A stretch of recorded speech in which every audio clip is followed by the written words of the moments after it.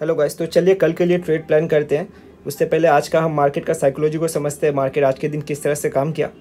देखिए मार्केट ने यहाँ कहीं पे गैप अप ओपन दिया। गैप अप ओपन देने के बाद अच्छा खासा सेलिंग साइड का मोमेंटम दिखाया। उसके बाद देखिए 43,500 के लेवल के आसपास से सपोर्ट लेके अपसाइड जाने का मोमेंटम किया। उसके बाद कहीं ना कहीं सारा दिन रेंज में काम किया ठीक है? तो यहाँ पे साइकोलॉजी बायर सेलर का क्या बना होगा? देखिए हम समझते हैं। यहाँ पे सेलिंग हुआ सेलर आया ठीक है? सेलिंग देने के बाद अच्छा खासा मोमेंटम देखा एक। उसके बाद यहाँ तक मार्केट ने रिट्रेसमेंट किया। तो देखिए नॉर्मल जो री, रिटेल ट्रेडर हमारे जैसे होंगे वो यहाँ पे नहीं मिलेंगे ठीक है? वो यहाँ से निकल गया। फिर से यहाँ पे फ्रेश सेलर आया कहीं ना कहीं यहाँ पे साइडवेज मोमेंटम दे के मार्केट क्लोजिंग दिया। तो देखिए 500 43 500 का लेवल हमारे लिए सपोर्ट का तरह काम कर सकता है। और ऊपर के साइड देखें तो देखिए थोड़ा सा जूम करते हैं हम। एक सेकेंड थोड़ा चार्ट को भी क्लियर कर लेते हैं। और ऊपर के साइड देखिए हमारे पास क्या है? यहाँ पे सेलर कैसल मिलेगा इस लेवल के ऊपर ठीक है? कल के दिन अगर मार्केट फ्लैट या गैप अप ओपन देता, वैसे कंडीशन में देखिए हम क्या करेंगे? थोड़ा मार्केट का कैंडल को देखेंगे। फ़र्स्ट कैंडल कैसे बना रहा है, उसके अकॉर्डिंग हम ट्रेड बनाने का कोशिश करेंगे, ठीक है? अपना प्लान तो होगा सेलिंग साइड का।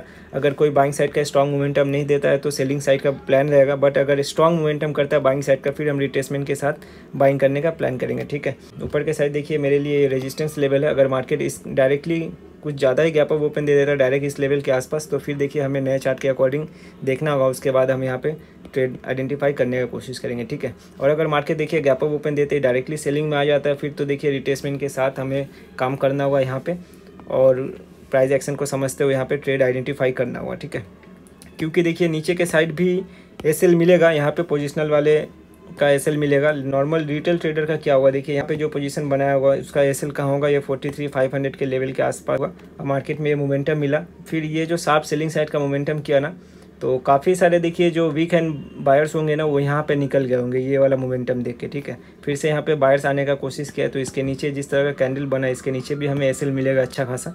और अगर मार्केट गैप अप ओपन ना होकर डायरेक्टली गैप डाउन ओपन दे देता है तो ऐसे कंडीशन में देखिए फिर क्या होगा हमारे लिए। ये जो बायर्स आया, वही अपना पोजीशन काट के निकल जाएँगे। फिर हमें देखना होगा ये फोर्टी थ्री फाइव हंड्रेड के लेवल के आसपास आके किस तरह से ट्रेड करता है, उसके अकॉर्डिंग हम यहाँ पे ट्रेड बनाने का कोशिश करेंगे। फिर भी अगर देखिए मोमेंटम अगर सेलिंग साइड का तेज रहेगा तो हम सेलिंग के साइड ट्रेड आइडेंटिफाई करेंगे। और अगर बाइंग के साइड जाएगा तो बाइंग के साइड भी हम ट्रेड करेंगे, अगर कैंडल अच्छा बनाए तो ठीक है? क्योंकि देखिए मार्केट क्या किया, दोनों साइड एसएल क्रिएट कर दिया है तो प्रोबेबिलिटी दोनों साइड का है, ठीक है? अब मार्केट जिधर मोमेंटम करेगा, उस साइड का हम यहाँ पे ट्रेड बनाने का कोशिश करेंगे, ठीक है?